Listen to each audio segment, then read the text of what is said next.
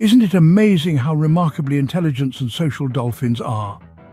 These fascinating marine creatures demonstrate an uncanny ability to interact with us humans, leaving us in awe of their capabilities. Embarking on a journey back in time, we find that dolphins first made their appearance during the early Miocene epoch, a period stretching from 23 to 16 million years ago. It was a time when the cetacean fauna was far more diverse than today. Remarkably, these ancient dolphins were amphibious, transitioning from land to sea. Stemming from terrestrial artiodactyls, creatures akin to small deer, they underwent a remarkable transformation over millions of years to adapt to aquatic life, culminating in the incredible dolphins we are familiar with today. Dolphins have always been held in high regard for their grace, intelligence, playfulness and affable nature towards humans.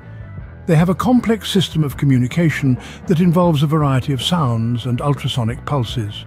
There are several types of dolphins found in both oceans and rivers. The most iconic and widely recognized among them are the bottlenose dolphins. These creatures, with their permanent smiles, adapt well to captivity and possess the longest social memory of any non-human species, but the oceanic world of dolphins extends beyond the familiar bottlenose variety. There's the Atlantic spotted dolphin, recognized by its distinctive spots and social behavior. The Commerson's dolphin, often referred to as the panda of the sea due to its striking black and white markings. The acrobatic spinner dolphin, known for its spinning leaps, the Peale's dolphin, sporting a white belly and found off the coast of South America. The rough-toothed dolphin, named for its unique tooth structure. The striped dolphin, distinctive for its striped pattern. The sleek, finless southern right whale dolphin, the variable Indo-Pacific humpback dolphin and of course the melon-headed whale, also known as the Electra dolphin. We also have river dolphins, including the South American Tucuxi dolphin, the Ganges river dolphin, the Amazon river dolphin, and the critically endangered Baiji or Chinese river dolphin. Dolphins are not just fascinating creatures, they are also vital to marine ecosystems and deserve our protection. Here are some ways we can contribute to the preservation of dolphins we can reduce or eliminate single-use plastics and properly dispose of our trash that so often harms marine life.